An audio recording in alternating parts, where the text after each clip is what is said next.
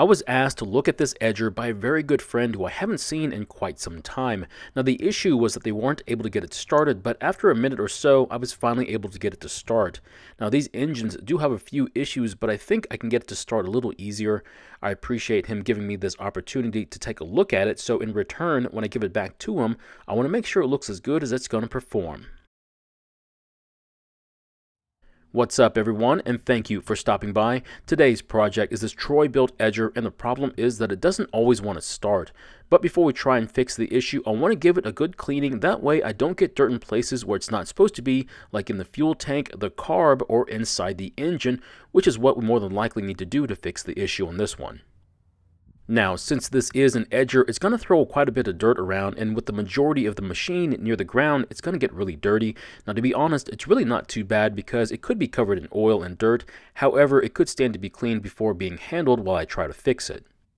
I don't normally show the cleaners I'll be using, but I get enough comments asking me about them that I figured I'd show you this time. I'm going to use an engine degreaser for the dirtiest parts, and for the other parts, I'm going to use a citrus-based cleaner that I have in this simple green spray bottle. I didn't show them, but as backup, I also use old gasoline, and to get the gasoline residue off, I have to use liquid soap. The first thing I want to do is to spray every part that I want to get cleaned. I do want to be careful though because this degreaser could damage some of the stickers and that means you might want to take a picture of all the paper stickers before the ink is completely destroyed. This information might be needed to get the right parts for your machine. Now since this edger isn't all that big, I'm going to spray the entire machine. After spraying it down, I'm going to let it soak for several minutes, then I'm going to hose it down and see what areas I'll need to clean again. For this one, I'll be using the garden hose, but you don't need to use one. Now, since this is basically the power head from a trimmer made to work as an edger, I don't think you'll want to use a pressure washer on it because you could damage it. Now, surprisingly, after several minutes, it looks cleaner already. Next, I'll just spray it down and see how much dirt is left over.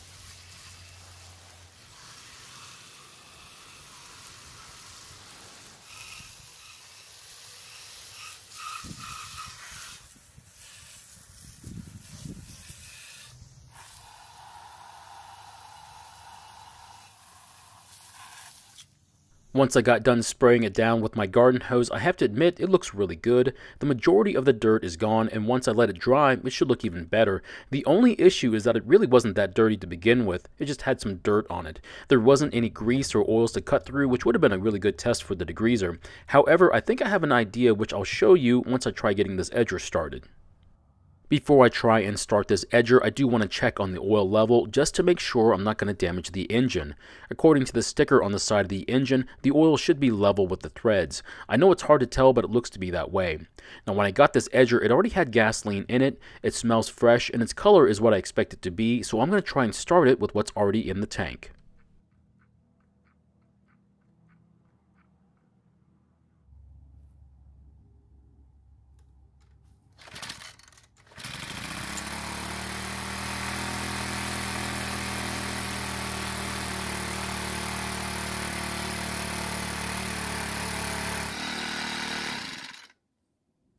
Surprisingly, it started on the second pull, which is great news. However, we're going to try it again later on in the video and see if it starts the same way.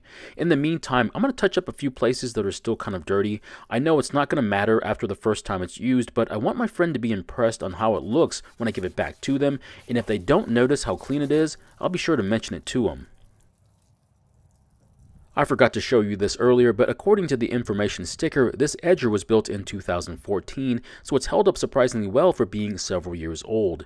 Now most people don't use their edgers much after spring, but I'm sure this one has several hours of use under its belt. This is important because there's a maintenance issue that's being neglected here. We're now going to try and start it again, and we'll see if it starts like it did last time, or if it's going to start acting up.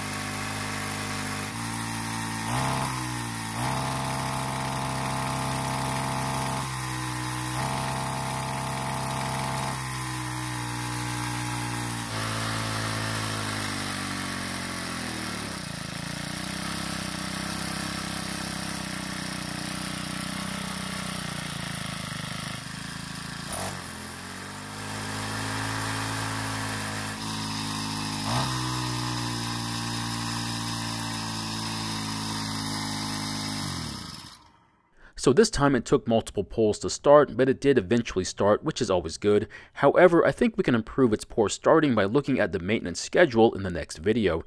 The second issue seems to be a throttle that wants to hang open. This really isn't a huge problem, and we'll see if a little bit of lube will fix it in the next video as well. I know they sell these blades for edgers, but I don't like using them on this type of engine because of the lack of power and the high load that it puts on this tiny little engine. If this was my edger, I would probably put the conventional blade back on instead. Of course, the other option would be to get a real edger like this one I got for free from an older gentleman. Now this engine has more than enough power to handle that large three-sided blade. The reason I brought this one out was to test how well that degreaser works on a real oily mess. The side of this engine is covered in oil and dirt from several years of usage, so I'll be impressed if it does work on it. The first thing I'm going to do is to spray the entire area with plenty of degreaser, then I'll wait the 10 minutes the instructions recommend. It also says I should scrub on the dirtiest parts, but I wasn't sure if that was before or after the 10 minutes, so I waited the 10 minutes thinking it'd still be wet, but as you can see, the degreaser has soaked into the dirt and oil, so scrubbing on it was kind of pointless, but I tried it anyway. Next time, I'll scrub on it as soon as I apply it.